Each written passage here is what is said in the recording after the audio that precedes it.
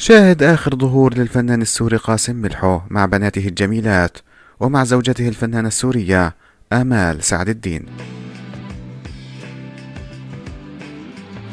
أهلا بكم أعزائي المشاهدين وكل عام وأنتم بخير.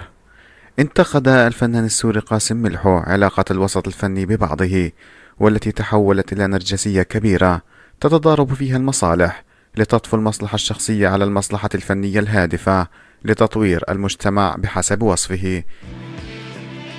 كما انتقد في منشور له عبر صفحته الشخصية على موقع فيسبوك العلاقة التي تحولت بين صناع الدراما السورية إلى علاقة قائمة على أساس المحبة لقاء المدح والكره مقابل النقد. وعرب ملحو أيضا عن أسفه الشديد نظير ما يحصل في الوسط الفني من تناقضات متفاوتة المستويات. في وصف الممثل الذي يعتبر نفسه وشخصيته أهم من الكادر الدرامي بأكمله ربما نتيجة شهرته التي تدفع في نهاية المطاف إلى رفع القيمة التسويقية للعمل الدرامي في وسائل الإعلام. الفنان السوري قاسم ملحو مع زوجته وبناته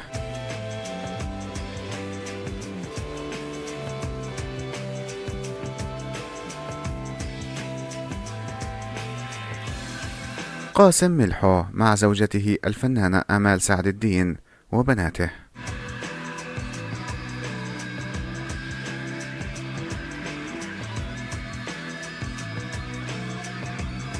الفنانة آمال سعد الدين زوجة الفنان السوري قاسم ملحو. والفنان قاسم ملحو متزوج من الممثلة السورية آمال سعد الدين التي كانت من دفعته في المعهد العالي للفنون المسرحية وعلى ذلك علق في لقاء قديم. هناك أناس يعتقدون لأنني أجسد الأدوار القاسية والشريرة أنني هكذا في منزلي. ويضيف لذلك عزلت زوجتي وحولتها لسيدة منزل فقط وهذا طبعا غير صحيح فهي مقلة في أعمالها لأنها لا ترضى أن تشارك في أي عمل. ويذكر أن قاسم ملحو من مدينة منبج بريف حلب وكان قد نشر قبل عدة سنوات تسجيل فيديو يظهر منزله المدمر بفعل المعارك التي حصلت في تلك المنطقة. وقد كان أول دور تلفزيوني له في مسلسل تل الرماد عام 97 مع المخرج نجدة أنزور وشارك في العام نفسه في مسلسلات هوى بحري والعوسج والموت القادم إلى الشرق.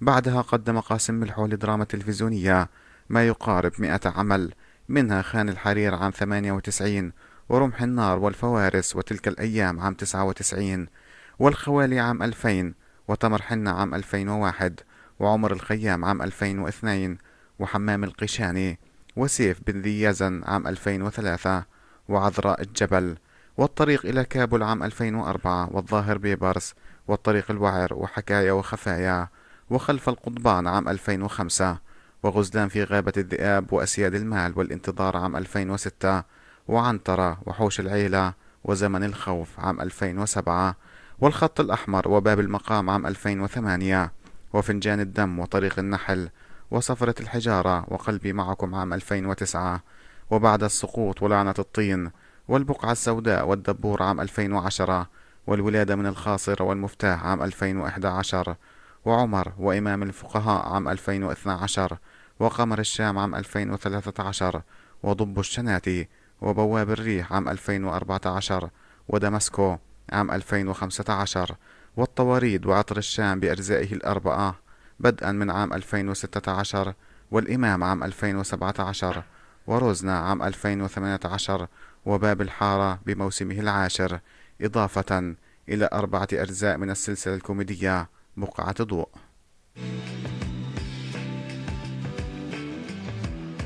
ويذكر الفنان قاسم ملحو في أحد لقاءاته المطبات التي وقع فيها وتعلم منها بسبب نشأته بين أهالي الحي الشعبي الطيبين والعفويين.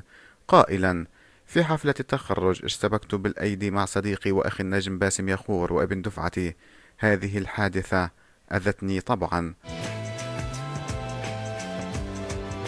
ويتابع قاسم وصفت بأنني عدواني وأزعر. ثم خسرت أعمالا كثيرة عرضت علي لأنني سعيت إلى طلب أجر عال بسبب تصديقي أكاذيب بعض الممثلين في شأن أجورهم.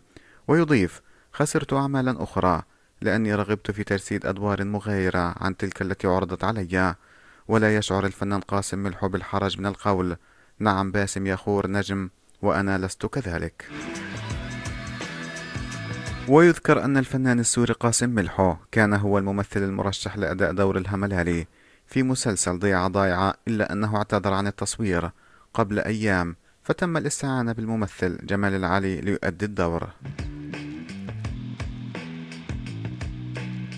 وقد ولد الفنان قاسم ملحو في حلب في الخامس من فبراير عام 68 وبعد نيله شهادة الثانوية توجه إلى دمشق والتحق بالمعهد العالي للفنون المسرحية واستقر في العاصمة السورية دمشق منذ دخوله المعهد عام 89 فتخرج من المعهد قسم التمثيل في عام 93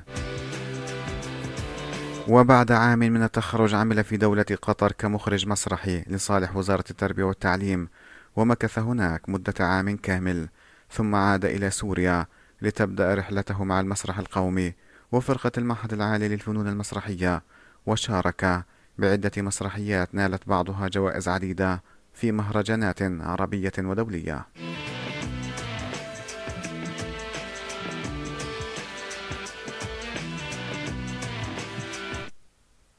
وقد أثبت الفنان السوري قاسم ملحو أنه من غير الممكن إيجاد دور واحد يجسده من دون بصمته الخاصة والحقيقية.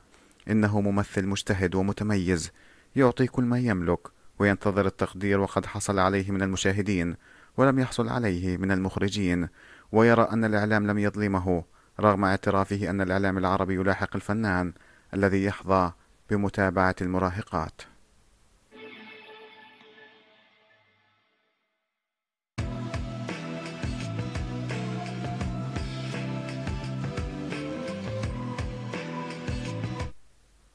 وعبر الأعمال الدرامية التي شارك فيها في السنوات الماضية.